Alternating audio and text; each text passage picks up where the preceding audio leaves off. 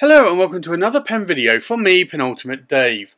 So I have here a comparison and this is a comparison of three pens and these are basically made out of a vintage cellulose acetate and these were typically made for the likes of Waterman, Parker and Conway Stewart. Now these are three more modern pens uh, and these are custom pens and these were made by John Twiss in the UK from Twiss Pens. But I wanted to, to show a comparison here because this lizard material is really quite stunning. And you can see here that this material is a beautiful material. Now, this lizard pattern here is actually cut in sort of one inch sort of layers and it's then wrapped around a mandrel and shaped into what you see here in this pen.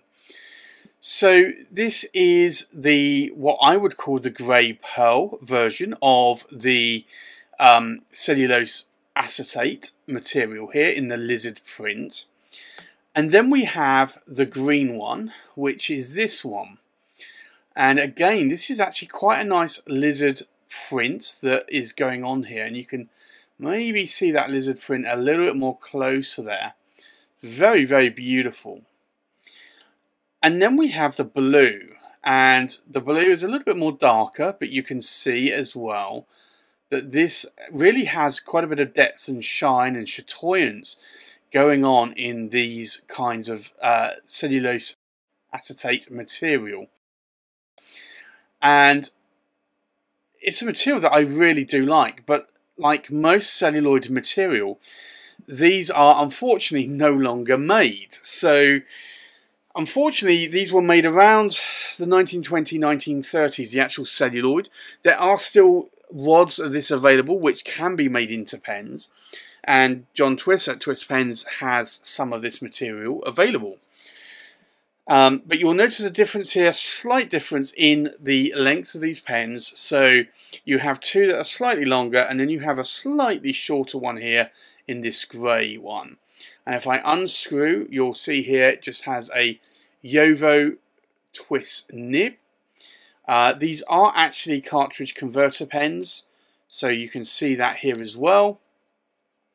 But these are actually quite a nice material. But I wanted to really just do a very brief comparison of these so that you could see these as I will be sending these back to the person that loaned these pens to me.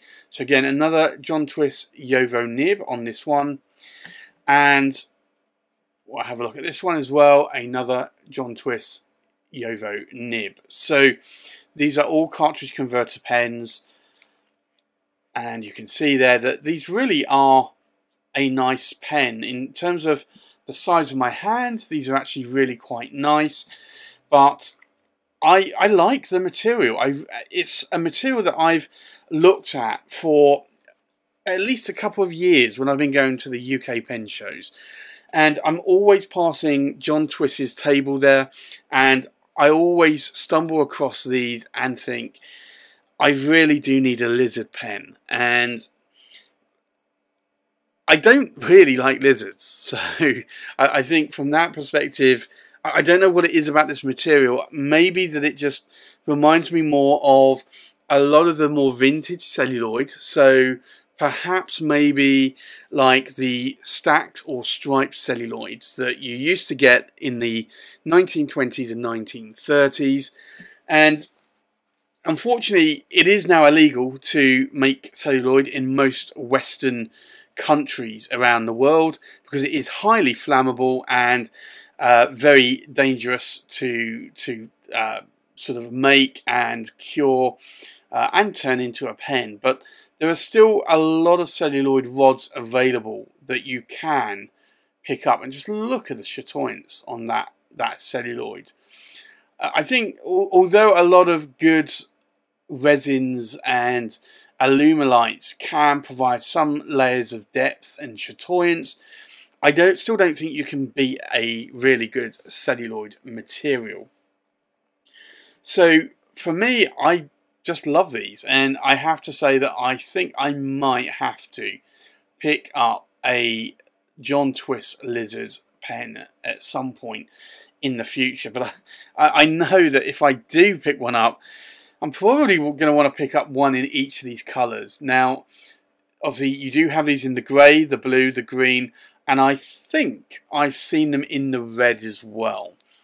And maybe there are other colours as well. Uh, I cannot really recall seeing them on his table, but I'm pretty sure there might be some other colours available that you can get.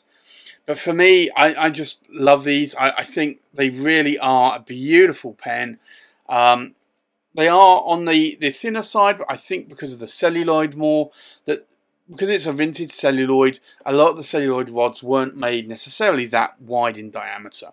So you are looking at effectively a um, fairly narrow pen, and that's unfortunately going to be the way it is. Uh, I don't think you will see a pen that is maybe to the thickness or girth to the level that I personally normally like to write with. And I guess really the the kind of levels that I'm looking at, if I show a Leonardo, would be something along these lines. So you can see that there is actually quite a bit of difference in terms of the sort of thickness of the pen. Now, the actual cap finial is actually about the same. Uh, the end cap finial is about the same, but you can see here that the diameter of the pen and the body here and also the cap as well is massively, massively different. So,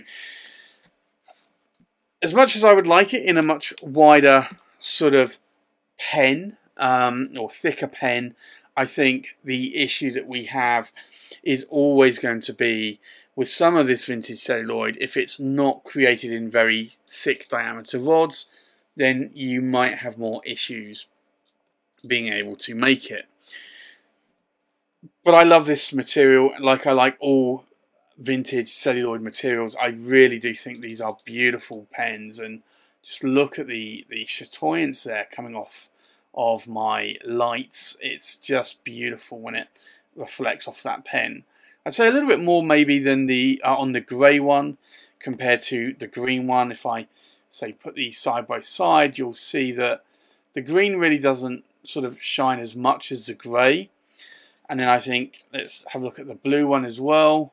I think also the blue has a little bit more of a shine uh, compared to the green one, but I still think the grey or the what a lot of people call the pearl is really a much better looking um, contrasty pen, I would say, in terms of of the the beauty of that that celluloid there.